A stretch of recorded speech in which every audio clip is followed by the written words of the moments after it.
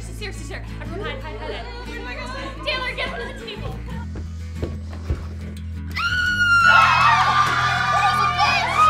I just want to email you. I wanted to ask you in person if you would have the honor of uh, being my maid of honor. You're getting married?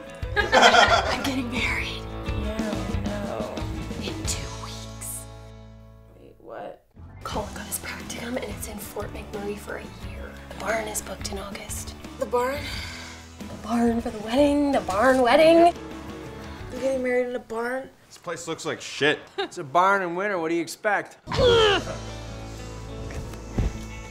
Well, uh, where would you get married? I wouldn't. You wouldn't get married? This is good. This is exactly what we need. No light, uh, no heat. I want to thank Colin and Emma for getting married. Test driving the whole thing for us. You spend the first half of your life making decisions. And then you spend the second half of your life justifying those decisions to others. Yes, girl, yes.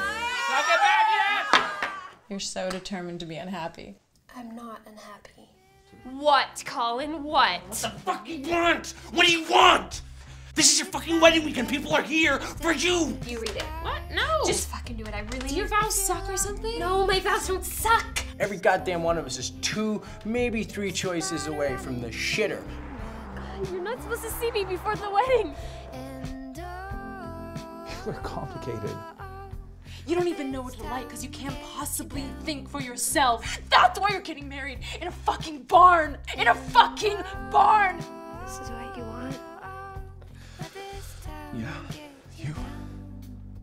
Get your dad.